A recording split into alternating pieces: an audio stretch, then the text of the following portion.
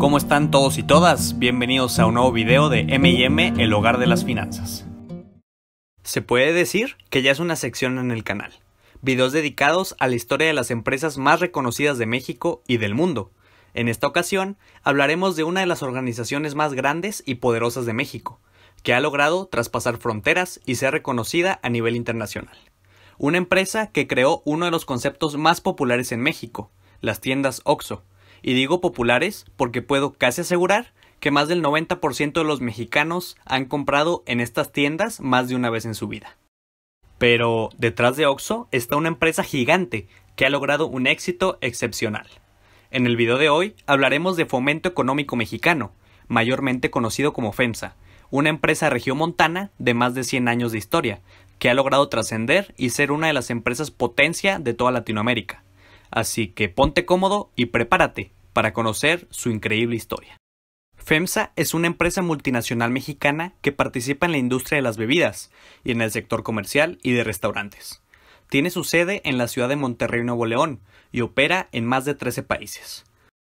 Asimismo, es el embotellador más grande del sistema Coca-Cola en el mundo. En México, embotella las marcas de The Coca-Cola Company en el centro y sur del país. Además, es la propietaria de las cadenas OXO, tiendas de formato pequeño, e incluso ha incursionado en el sector de combustibles con OXO Gas. En 2020 fue la quinta compañía más grande de México, por sus ventas, de acuerdo a la revista Expansión. Actualmente, FEMSA cotiza en la Bolsa Mexicana de Valores y en la Bolsa de Nueva York. Sus acciones son parte del IPC, el principal índice accionario de la Bolsa Mexicana de Valores.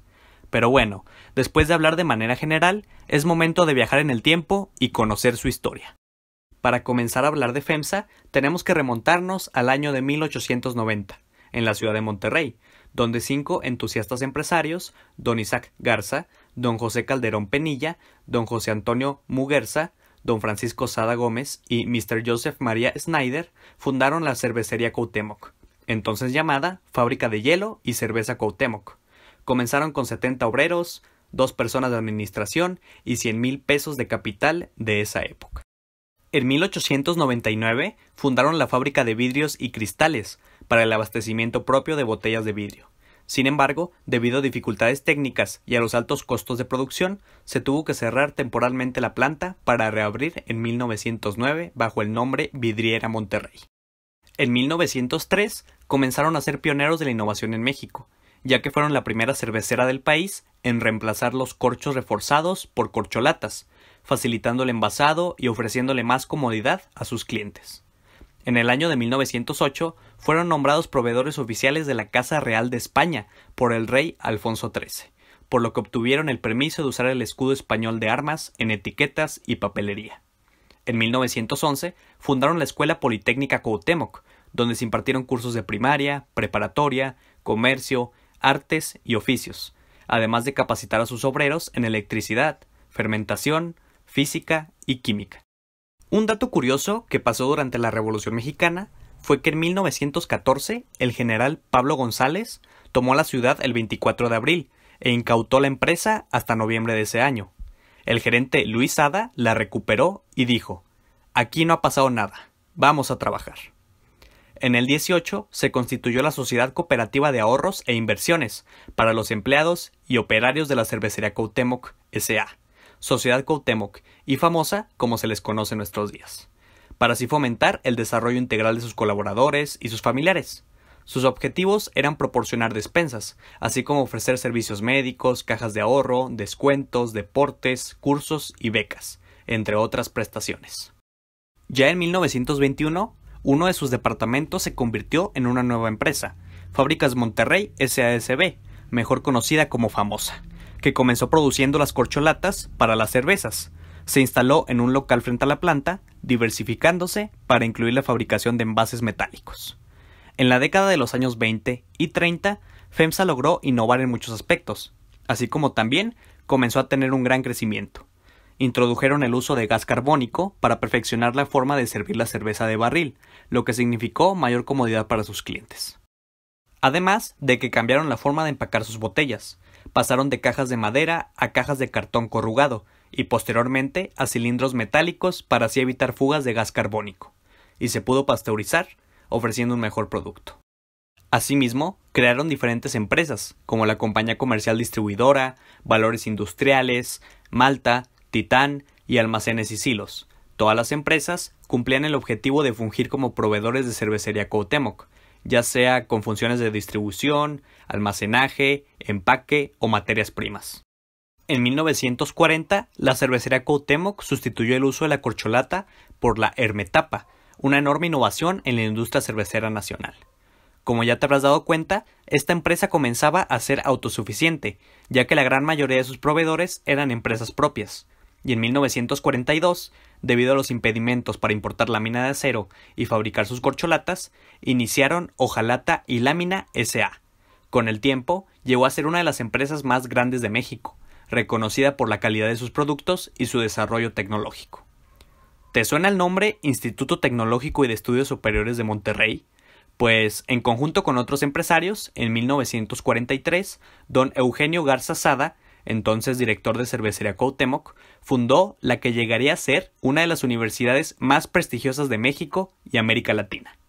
En 1948 siguieron las innovaciones, ya que iniciaron el uso de hielo triturado en los puntos de venta para ofrecer a los consumidores cerveza fría, además de que comenzaron a utilizar la botella transparámbar, para impedir la entrada de luz y evitar que se afectara la calidad de su cerveza. Otro de los datos curiosos de esta empresa fue que en 1954 se adquirió una planta cervecera en una pequeña ciudad de Baja California Norte. ¿Te suena la marca Tecate? Pues ahí se elaboraba esa pequeña marca regional, que lanzaron a nivel nacional, convirtiéndola en la primera cerveza en lata de México. En el 64 añadieron el sistema Abre Solo a los envases de lata, proporcionando una ventaja más al consumidor, que hasta entonces necesitaba de un abridor. Y en el 67 introdujeron el envase quitapón, que consiste en una rosca en el cuello de la botella, para destapar las botellas de vidrio sin usar un abridor. Además de todo eso, a finales de la década construyeron la planta de cerveza más moderna y avanzada de América Latina de su época, en la ciudad de Toluca, Estado de México. En 1976 establecieron Plásticos Técnicos Mexicanos S.A., productora de productos plásticos y materiales para el uso de venta. Fue en el año de 1978 cuando se creó su marca más reconocida. Oxo abrió por primera vez sus puertas en la ciudad de Monterrey, y junto con eso se listaron las primeras acciones de la empresa Visa, una de las empresas tenedoras que controlaba a Banca Serfín y Cervecería Cuauhtémoc. A finales de la década de los 70, Visa adquirió la primera franquicia de lo que años después se convertiría en la división Coca-Cola FEMSA. Y en el 79 lanzaron al mercado mexicano la primera cerveza ligera, Brisa, adelantándose por mucho a la época. A mediados de los años 80, en 1985, en una decisión histórica, lograron fusionarse con la cervecería Moctezuma, esto ayudó a generar sinergias que permitieron mantener su liderazgo en el mercado nacional y reforzar su competitividad en el mercado internacional. En el 88, tras una fuerte reestructuración de su deuda, nació Fomento Económico Mexicano SADCB, el cual se convirtió en la principal subsidiaria de Visa, donde se agruparon las operaciones de cerveza, empaque, refrescos y comercio de la compañía. En 1993, oficialmente, FEMSA se asocia con The Coca-Cola Company para acelerar el crecimiento de Coca-Cola FEMSA. Primero, The Coca-Cola Company compró el 30% de las acciones de Coca-Cola FEMSA, y después se colocaron el 19% del capital en la Bolsa Mexicana de Valores y en la Bolsa de Nueva York. Además de que se comenzó con la internacionalización de Coca-Cola FEMSA, con la compra del 51% de las acciones de Coca-Cola en Buenos Aires, Argentina. Fue en 1998 cuando se listaron sus acciones como FEMSA en la Bolsa de Nueva York. En el primer año del milenio se inició una asociación entre Oracle y FEMSA Logística para crear Solística.com, una empresa de servicios de logística mediante Internet. En el año 2003, FEMSA compró Pan American Beverage, Pananco, el embotellador más grande de América Latina y uno de los tres mayores embotelladores de productos Coca-Cola en el mundo. Así, lograron convertirse en la compañía embotelladora líder de productos Coca-Cola en Latinoamérica y en la segunda más grande del sistema Coca-Cola a nivel mundial. En el 2005, junto con la inauguración del IMER, la planta de reciclado de PET con mayor capacidad en América Latina y la primera en su tipo en México, FEMSA obtuvo el reconocimiento como empresa socialmente responsable para sus unidades Coca-Cola FEMSA, FEMSA Comercio y FEMSA Insumos Estratégicos. En los años 2006 y 2007 adquirieron Kaiser, una cervecera brasileña, y Jugos del Valle, consolidándose como una empresa enorme en México. Asimismo, a finales de la primera década de los 2000 iniciaron la Fundación FEMSA, un instrumento de inversión social que apoya a la educación, la ciencia y la tecnología para la conservación y el uso sustentable del agua y la promoción de la vida saludable en la comunidad. Adquirieron la empresa Remil, incrementando su presencia en Brasil y creciendo sustancialmente su número de clientes y consumidores. Asimismo, lanzaron Invera, una compañía productora de enfriadores comerciales que creó un nuevo estándar en la industria. Compraron el negocio de agua embotelladora Brisa, incluida la marca, y los activos productivos, propiedad de la empresa Bavaria, una subsidiaria de SAP Miller. Ya en el 2010 intercambiaron el 100% de las acciones de FEMSA Cerveza por el 20% de las acciones de Heineken, incrementando su participación de mercado y su eficiencia competitiva a nivel mundial. En esta última década, FEMSA no ha dejado de crecer. Fusionaron divisiones de bebidas de empresas como Fomento Económico Queretano, Grupo Tampico, Grupo Yoli y Corporación de Los Ángeles con Coca-Cola FEMSA. También tomaron el control de Coca-Cola Bottlers Philippines, propiedad de Coca-Cola Company. También compraron empresas como Farmacias FM Moderna de Sinaloa y Farmacias YZA de Yucatán, además de la compañía fluminense de refrigerantes, Expreso Jundiaí, Grupo Socofar, la industria brasileira de bebidas, entre muchas otras empresas más. Su más reciente inversión fue el 15 de mayo del 2020.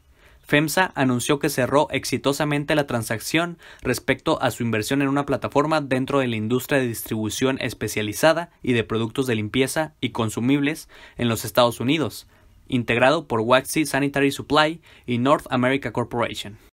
Actualmente, la visión que tiene FEMSA es ser el mejor tenedor, socio y operador de largo plazo de sus negocios, además de aspirar a duplicar el valor del negocio cada cinco años, ser líderes en sus mercados y ser el mejor empleador y vecino de las comunidades en las que operan. FEMSA, a través de sus tres unidades de negocio, FEMSA Comercio, Coca-Cola FEMSA y negocios estratégicos buscan desarrollar el negocio de las bebidas de una manera rentable, para que permita maximizar el valor para los accionistas, además de fortalecer los recursos financieros y humanos para incrementar el valor de sus marcas, aprovechar sus oportunidades de mercado y crear nuevas oportunidades y satisfacer la demanda de los consumidores. Como podemos ver, lo que empezó siendo una idea de cinco personas comunes de Monterrey terminó siendo un sueño hecho realidad, que hoy en día le da trabajo a más de 300.000 familias alrededor del mundo, además de que cuentan con presencia en más de 10 países en el planeta. Una empresa regiomontana que representa dignamente a México ante los ojos del mundo.